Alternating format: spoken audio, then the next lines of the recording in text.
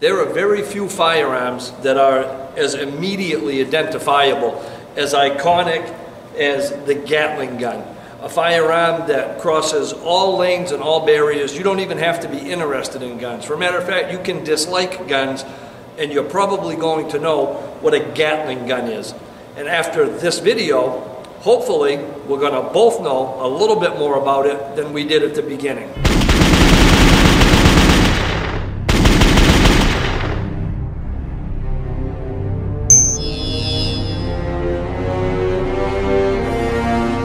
Are several different variations of, of the Gatling gun. It's not just one single thing.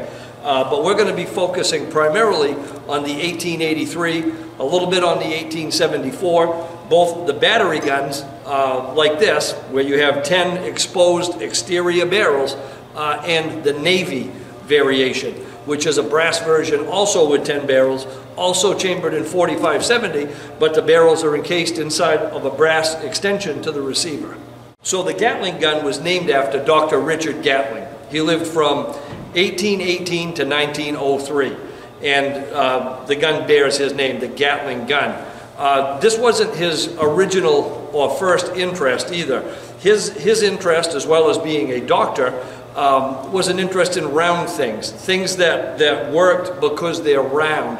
So his, uh, his early interests included projects on ship or boat propellers uh, and bicycle wheels and gearboxes. And, and that kind of makes sense when you look at, at the, the round shape of so many of the parts on the Gatling gun. If you think of where firearms were technologically at the time, we didn't even have cased ammunition. The vast majority of our firearms uh, were muzzle loaded, loaded at the muzzle. So the early Gatling guns were designed with multiple uh, chambers uh, little, little boxes that would run through the mechanism of the gun, functioning much like it does today uh, outwardly, but these little chambers would be loaded with the powder, uh, with the patch, and with the ball, and they would be cycled through the gun where the, where the empty casings fall out of the guns today, on the early guns, the, that entire chamber section would fall out. So men, uh, the A gunners or other people in this Gatling battery would pick them up, reload them, and then, and then load them back in the feed mechanism to continue to run through the gun. Fortunately, it was very soon thereafter that, that cased ammunition became a thing. Ammo that has a brass casing, a projectile with the powder and the primer mechanism on board. So Dr. Gatling converted all of the firearms to use this new cased ammunition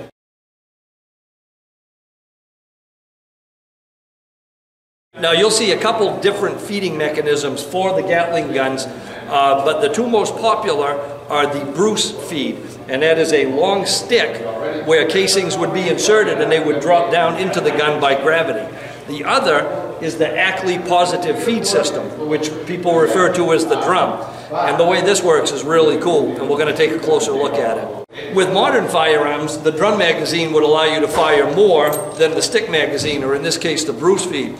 But because soldiers were able to put more rounds in this mechanism and add them to the stick as it would run out or as it would run low, this type of feed could be never ending. If you had the right support, you could have people dropping ammo into the system just as fast as the person firing it could be behind it running the crank. The ammo was loaded into the top and then the slot in the casing would coincide with these two slots in the Bruce feed. If one side were empty, you could simply switch to the other side and continue firing and then switch it back just as easily. Now, while the Bruce feed mechanism, the stick, utilized gravity to feed it, the Accles positive feed actually works on a gear mechanism which coincides with the gun itself. So the drum is always running at the same speed that the person operating the gun is cranking it at.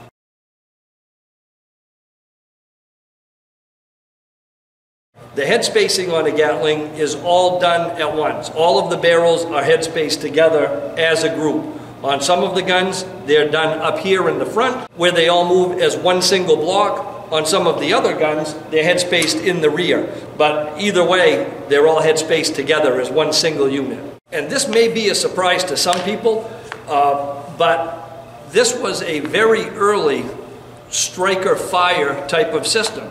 So uh, Gaston Glock didn't have anything on Dr. Gatling when it came to the striker fire mechanism. Um, the way that this gun works is there is a rail inside of the circular receiver, and all of the bolts ride on that rail in a circular motion and moving front to back as they go through their cycle. When they get to a certain point, the striker portion of the firing pin actually gets caught in a separate slot and, re and rearward.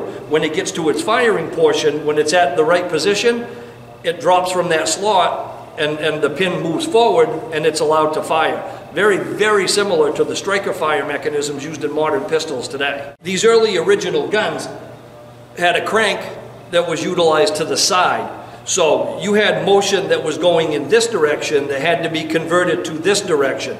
So there had to be a gear change, and that's another reason this box is so big in around the receiver. Because of the direction change, you also utilized a reduction gear to give the operator the ability to crank the firearm and not be bogged down with all of the other things that could be doing it, such as not feeding correctly or a dirty chamber or dirty ammunition. So the firing speed of the gun was directly affected by the reduction gear in the back. The later guns, uh, you'll see referred to as the Bulldog style guns, instead of having a crank on the side, it cranked to the rear and it was moving in exactly the same direction that the barrels were.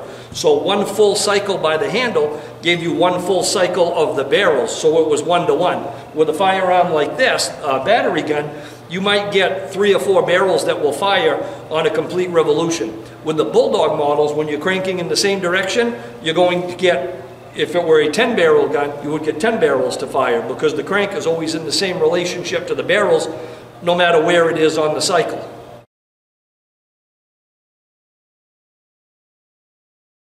There's a lot of speculation about whether uh, bolts were interchangeable. Again, we have 10 bolts in a gun like this. I've had people that spend a lot of time with Gatlings tell me, yes, they were interchangeable, uh, but I found that with every single one I've ever looked inside of, these 10 bolts all have a common number, and that aligns with the serial number of the firearm, and it also has a chamber number which aligns with the barrel. So you're going to have barrel number one and bolt number one through, in this case of the battery guns, bolt number 10 through barrel number 10.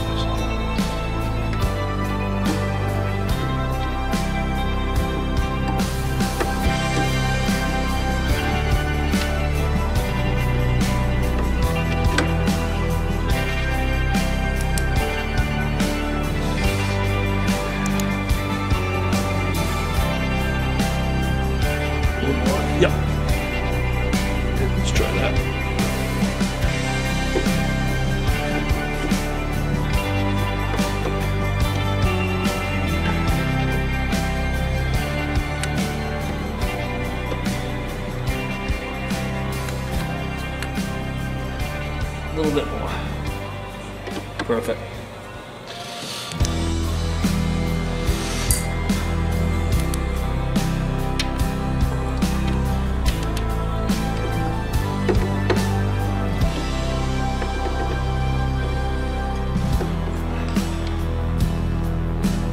A little bit more. Perfect.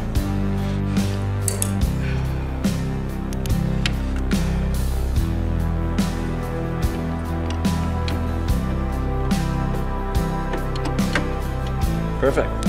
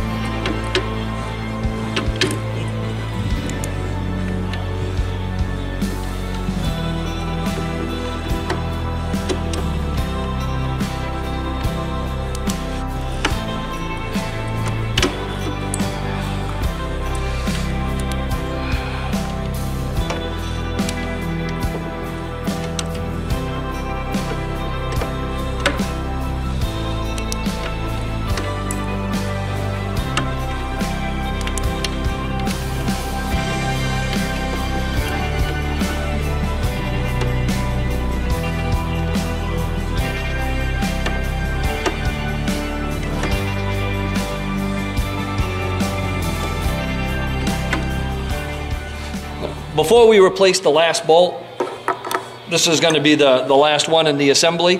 I want to show you how the firing mechanism actually works. There is a band in here that corresponds with this tooth and another that corresponds with your firing pin. As it travels closer to the chamber, the bolt travels to the front, the pin is retained, and when it gets to the end of its travel, the slot runs out. So the bolt drops down and the pin is able to drop forward out of it. So what we have is something really similar to a striker fire. Some might compare it to a Glock. Um, and that's really the essence of how it works. We, the bolts are traveling in this direction and they're traveling front to rear at the same time. And it fires at about the five o'clock position. All right, move it to that last one.